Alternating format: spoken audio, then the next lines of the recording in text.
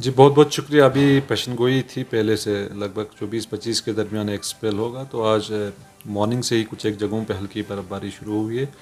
बाद दोपहर जो है, खासकर साउथ कश्मीर के कुछ एक इलाकों में काजीगुंड कुकरनाग शुपियन डिस्ट्रिक्ट अनंतनाग इन सारे एरियाज़ में हल्की बर्फबारी शुरू हुई है। और बनिहाल सेक्टर बटोट रामबन इन सारे एरियाज़ में जो है लाइट प्रेसिपिटेशन खासकर बारिशें जो है अभी शुरू हुई है। तो आज ग्रेजुअली सिस्टम जो है, थोड़ा अपना पीक पकड़ेगा और आज लेट नाइट के आसपास जो है कुछ एक जगहों पे हैवी प्रेसिपिटेशन के भी चांसेस हैं, खासकर डिस्ट्रिक्ट डोडा, किश्तवाड़, बटोट बदरवा, इन सारे एरियाज़ में डिस्ट्रिक्ट रामबन, इसी तरह यहाँ साउथ कश्मीर के अंदर भी कुछ एक ज़िलों में जो है हैवी स्नोफॉल के चांसेस हैं मॉडरेट टू हैवी खासकर साउथ कश्मीर के जो हायर रीच हैं। बाकी कल दोपहर तक जो है सिस्टम जो है बना रहेगा और उसके बाद जो है ग्रेजुअल इम्प्रूवमेंट होगा और छब्बीस सत्ताईस के आसपास भी थोड़ा सा क्लाउडी है वेदर बाकी कोई सिग्निफिकेंट वेदर सिस्टम नहीं एक्सेप्ट कुछ एक हायर जिसमें लाइट स्नोफॉल के चांसेस बाकी ट्वेंटी नाइन थर्टियथ के आसपास एक स्पेल है जिसमें लाइट टू मॉडरेट स्नो खासकर मिडल और हायर इसमें, और लाइट स्नो के चांसेस हैं, खासकर मैदानी इलाकों में। बाकी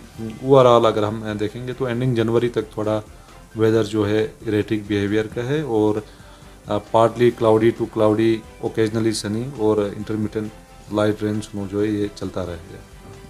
जी, अभी फ़िलहाल वेदर जो है अमूमन क्लाउडी रहा है तो अभी लगभग 19 तारीख से ही वेदर मतलब मिनिमम टेम्परेचर में काफ़ी ज़्यादा इम्प्रूवमेंट है एक्सेप्ट कल जो था माइनस थ्री पॉइंट फोर के आसपास था यहाँ श्रीनगर में। बाकी जगहों पे भी इम्प्रूवमेंट जो है अच्छा खासा देखा है। तो अभी कमिंग डेज़ में भी minus one to plus one के रेंज में रहेगा, खासकर मैदानी इलाकों में।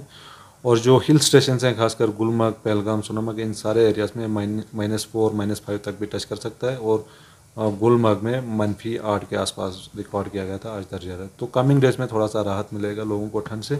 और वैसे भी आप चिलाई कलान जो है लगभग एंडिंग फ़ेज़ में है तो फेबरवरी में वैसे भी दर्जा हालत में थोड़ा सा इम्प्रूवमेंट होता है तो कमिंग डेज़ में जो है, अब इम्प्रूवमेंट ही होगा, ठंड ज़्यादा नहीं बढ़ने के इम्कान हैं।